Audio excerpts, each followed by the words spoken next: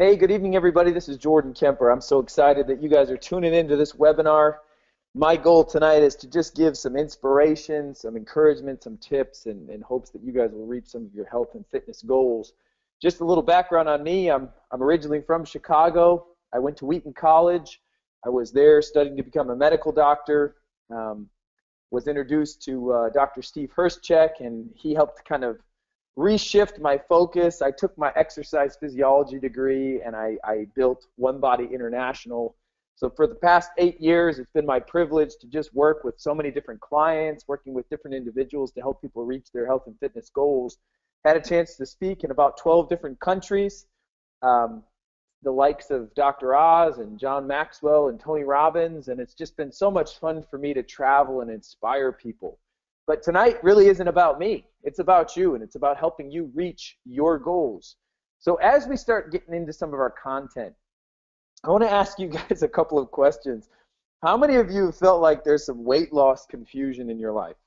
I mean, goodness gracious, do we go fat-free, high protein? Is is is blood type diet important? Gastric, you know, a band? Uh, do I need to to go to my, my dietitian on a consistent basis? Is exercise most important? What about sodium?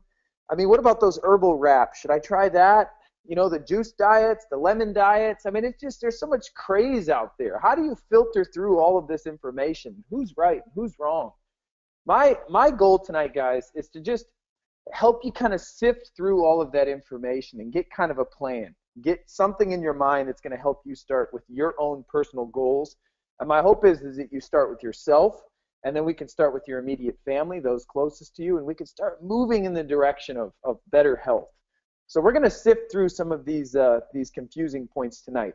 My encouragement to you guys is not to just sit back and listen to Jordan speak, but really engage by sitting up in your seat. Um, I encourage you guys to take some notes.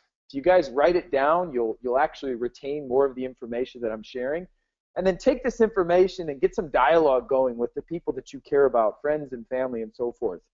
So as we start moving through this, the first thing I want you to write down is there are three legs to a triangle of optimal health. If you really want to have better health, we've got to get all three pieces of this puzzle. Okay, it's diet, exercise, and supplementation. I really believe with all of my heart when it comes to weight loss goals, diet is most important. I do think that exercise is crucial, very important. And then lastly, I also believe that supplementation plays a role in this. So really to get all three of these right, this is what we're going to shoot for. Let's start with nutrients, okay? Back to your high school biology class here. There are three types of micronutrients. Micro meaning there's no calories associated with it, okay? Water, vitamins, and minerals. These are the micronutrients. And then there are three types of macronutrients fats, carbohydrates, and proteins. A lot of people think fats are bad. Quite the opposite, friend. Fats are very good and very crucial for your diet. Avocados, walnuts, cashews, these types of fatty sources, uh, olive oil, really good for you. Carbohydrates, confusing for most people. You know, most people think carbs are bad, but usually the carbohydrates that we think about are those are those bad carbohydrate sources. Some of the white flour, some of those starches. We want to talk through what good carbohydrates look like. And then proteins. You know, are proteins necessary? How much protein should I actually be shooting for? So let's let's talk proteins for a minute here. I want you to write down that there are actually various uh, forms of protein, but let's let's write down the best forms of protein. Okay, your nuts and vegetable sources are actually your cleanest, purest form of protein. Nuts and vegetable sources was where you should go first. Number two is you should go to cold water fish, like mackerel. Cold water fish is your second best source of protein. Your third best source of protein is actually bird, fowl. Uh, the fat does not get marbled into the meat, so that's why you can remove that skin on that chicken. You can take that skin off, take the fat off, and you can get a nice lean cut of meat. Uh, you can do so with turkey as well. And then your last source of protein should always be red meat and dairy. That should be your limited source of protein. So in that order, that's kind of what we want to shoot for. Now, depending upon what your goals are, that will determine how much protein we want to intake. But they say about 0.8 grams per kilogram of body weight for the average person. So that, for a typical person, that's about 65 to 80 grams of protein a day. And we really want to make sure that we're spreading that out. So those are just some key points as we start thinking about the nutrients that our bodies need. Okay, I want you to shift your focus here for a minute, and I want you guys to think just for a minute about carbohydrates. Okay, what are the bad sources of carbohydrates? You know, we think pizza, we think pasta, we think white rice. We start thinking about carbs. Most people are taught that carbs are bad. Well, I believe personally that God created carbohydrates.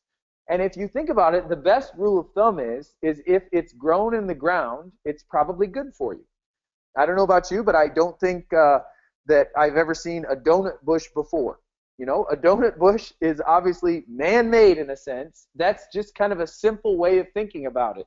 If it's grown in the ground, it's good for you. If it's made by man, it should be a limited source that you eat.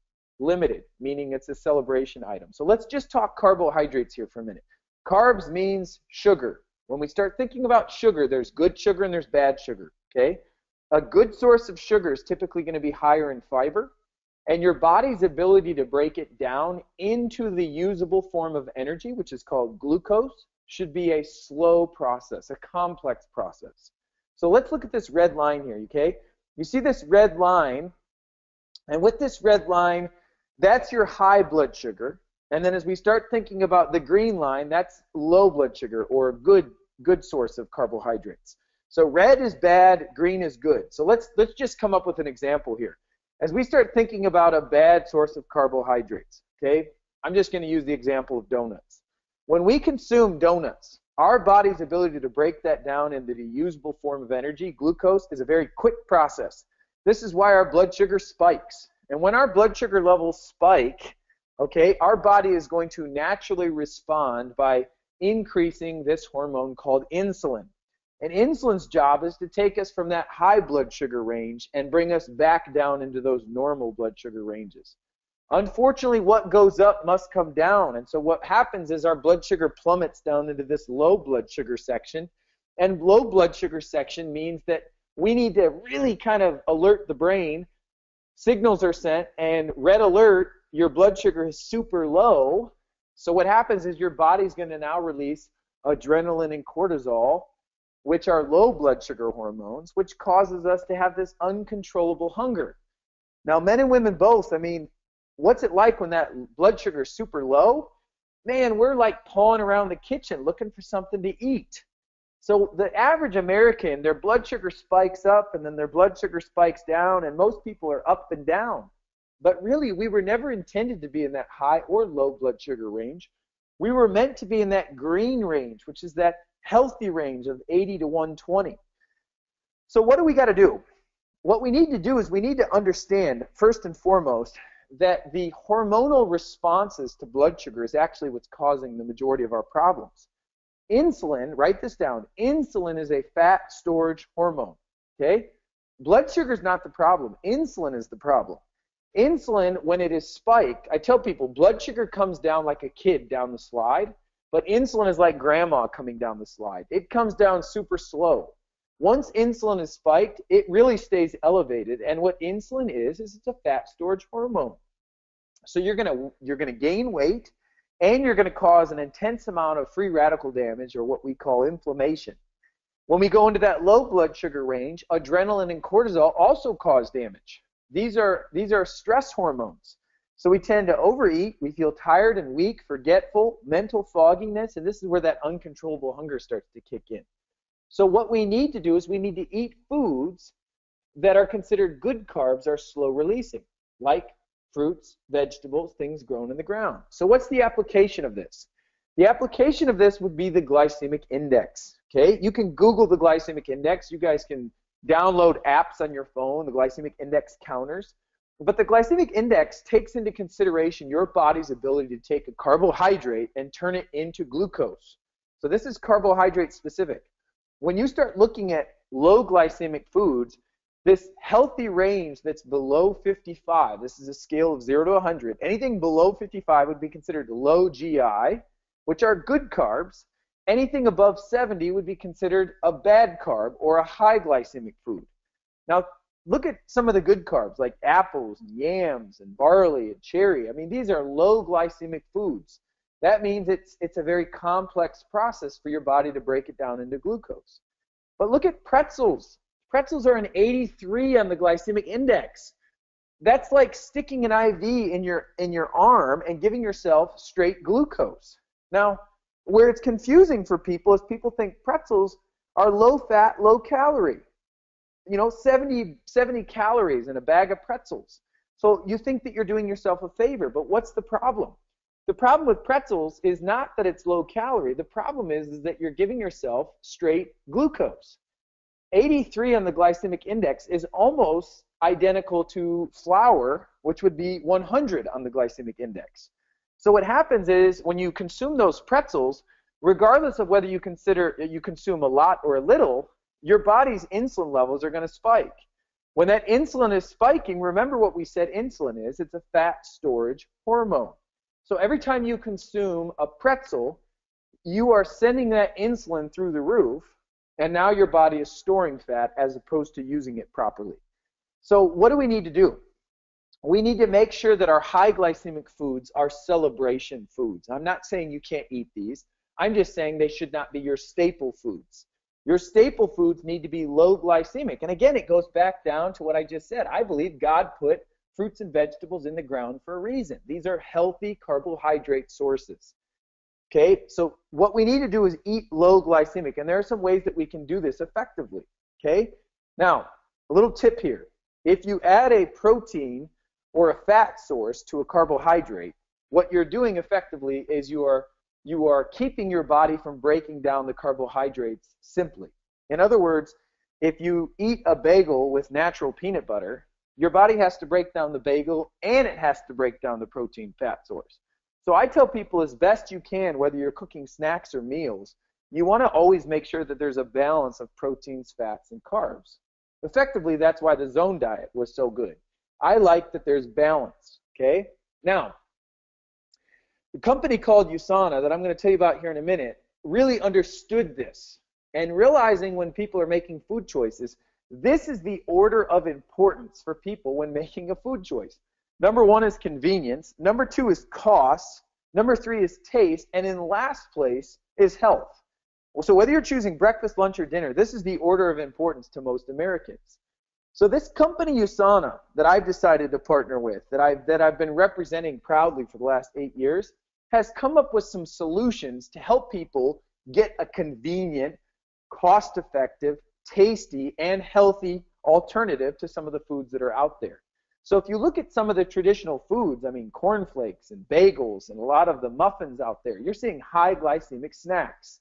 USANA has formulated some food products that are a 43, a 23, a 36 on the glycemic index.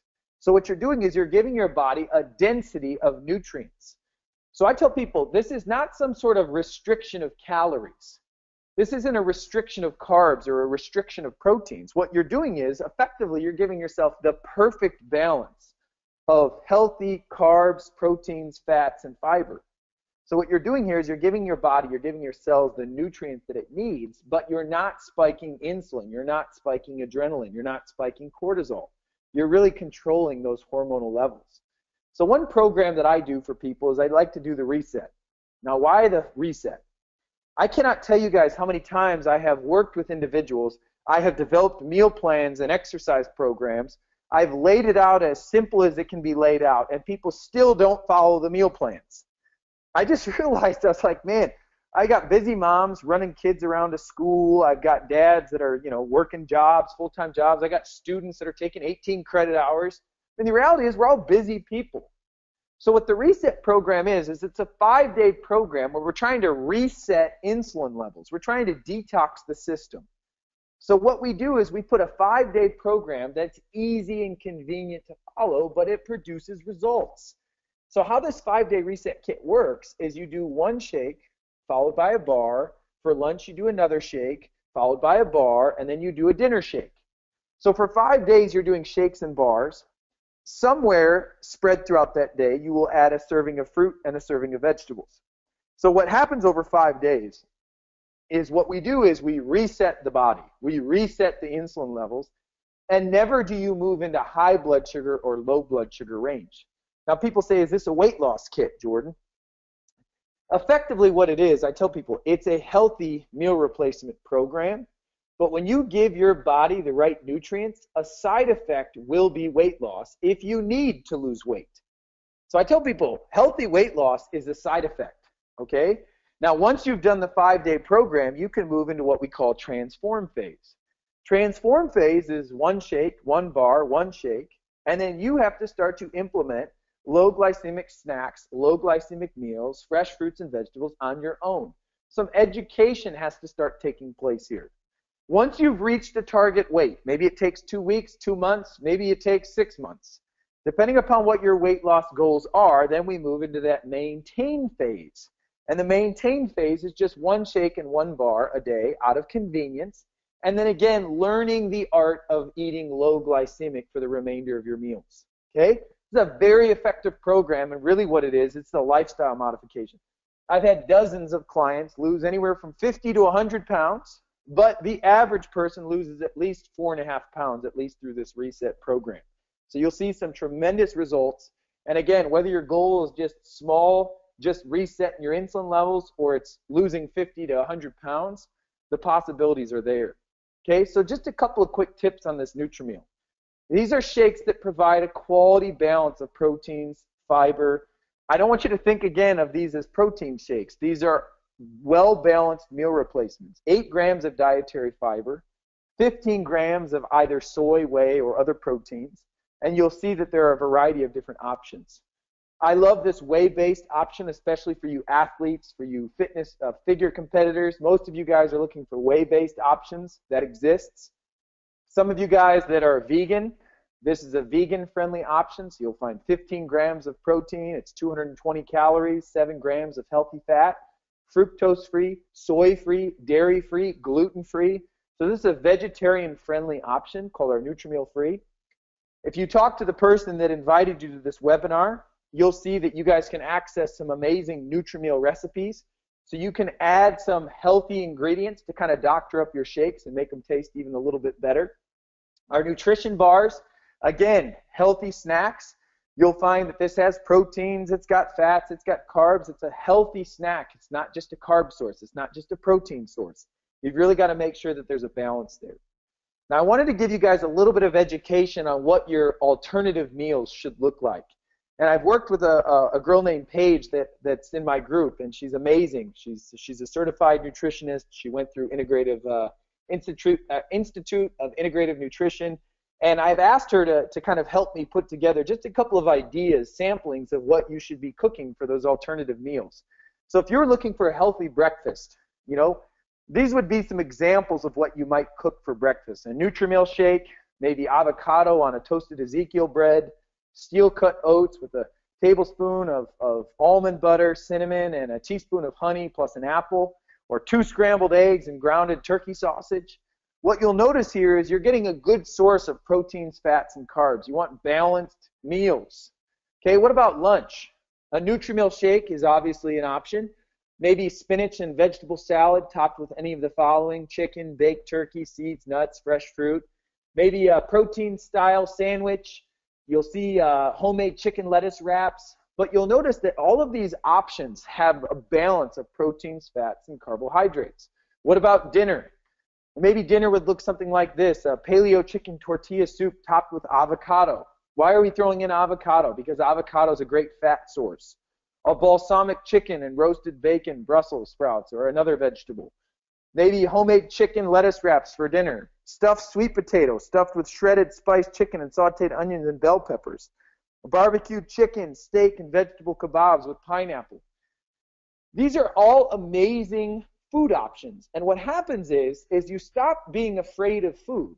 You stop counting your calories if you start learning how to cook correctly if you start learning the right foods that are low glycemic, what happens is you empower yourself to actually love and enjoy and look forward to food as opposed to feeling bad about yourself or being afraid to eat or being afraid to consume a, too many calories. I just talked to a person this week. She was a precious woman, unbelievable, such a sweet spirit, and she was afraid to eat avocados because she thought they were too fatty or afraid to eat certain sources of foods. I want to empower you guys just to remember If it's low glycemic and it's grown in the ground, it's grown in the earth, it's going to be a really good option for you. Okay. Now, what about snacks? An apple and an ounce of cheese. Notice you're getting a carb source, protein and fat. Maybe 7 to 12 unsalted nuts of choice. If you really want to do it right, you'd soak those nuts in water. A piece of fresh fruit, so you're getting some carbs as well. A hard-boiled egg uh, and an apple. I believe the egg is actually probably the most complete balanced um, meal or snack that you can get. Five to seven low glycemic crackers with some hummus, maybe a couple of ounces of cheese, a raw veggies, and some hummus. So these are all great snack options if you're looking for ways to, to cook and to eat better. Okay? Now let's kind of change gears here, and I want to talk about exercise for a moment. Okay? There's a lot that you can teach about exercise, but exercise is super important. Here's just a couple of rules that I want you to write down. You want to exercise more days in the week than days that you don't. So with a seven day week, we want to exercise at least four days if you're going to take three days off. Even better would be five or six days of exercise. And you want to make sure that you're exercising a minimum of 20 days or 20 minutes daily. Sometimes people will say, "Well, Jordan, I'm going to work out twice a week, but I'm going to work out for an hour and a half." No. What would be better is if you're going to start slow Work out four, five, six days a week, but only work out for 20 minutes. More is better than just working two days and just trying to go gung ho with a 90 minute workout. Okay? A little bit every day is much better. If you want some simple things that you can do at home, I would recommend getting resistance band, getting some dumbbells, and grabbing some uh, medicine ball. You can really get a complete workout with just resistance bands, dumbbells, and a medicine ball. But what's happening is here is we want to add resistance to all of the movements. So for example, if you're walking down the street and you're just going to go for a 20 minute walk, walk with dumbbells, okay? Do some shoulder raises as you're walking. You know, as you're doing some core activities, hold that medicine ball. Flip over into a plank position. Put the dumbbells on your back. Put the medicine ball on your back. You know, there's really simple things that you can do, but what you want to be thinking about is all functional movements a lot of guys I see, they're squatting and they're bench pressing and they're doing things that really don't simulate activities that you would do in life. So if you think about it, if you're swinging a golf club or if you're swinging a tennis racket or, or you're pounding a hammer, those are complex movements that we use in everyday life. You want to simulate that when you're in the gym. So what's happening is your lower body's turning on your hips, turning on your upper body. So there's three planes of motion, X, Y, and Z. So you want to make sure that you're really engaging all of those different planes of motion when you're doing functional movement. I'm very, very leery of some of those, those the CrossFit and some of these these movements that I think people are doing that are uneducated and they're not being coached correctly. You need to be careful of some of those movements that are really in the X and Y position. You really want to make sure that you're doing functional movement. Now, whichever direction you decide to go, what happens is when you're increasing your heart rate, we are going to build muscle mass. And as we build muscle mass, we raise our metabolic rate. And by raising our metabolic rate, we actually burn fat. So let's go back to our example of walking for 20 minutes, okay? If you're walking for three or four minutes and then you jog for 20 seconds, you're going to raise your heart rate. If you walk for a couple of minutes and then let's say you move into more of a sprint, okay, you raise your heart rate. Our goal throughout exercise is to keep that heart rate elevated as much as possible, we want to raise our heart rate and we want to we want to seek to increase our muscle mass, our lean body mass. Okay? So I really recommend push-ups. I recommend body squats. I recommend complex movements where we're trying to engage our muscles, increase that muscle mass, raise our metabolic rate, in which case we'll start burning more of that fat. Okay? Mayo Clinic says that there's some incredible health benefits Okay, you guys can see these are seven benefits that Mayo Clinic says exist just from um, working out, just from exercise. Exercise controls weight, it combats health conditions and diseases, it improves our overall mood, it boosts our energy. You guys can see that these are simple things that, that, that exercise does for us. It even puts a spark back in your sex life. Now, some of you guys have a sex life. Congratulations, good for you guys. Mine's coming soon. But the reality is this I want you guys to realize that exercise really does have some massive benefits for us, okay?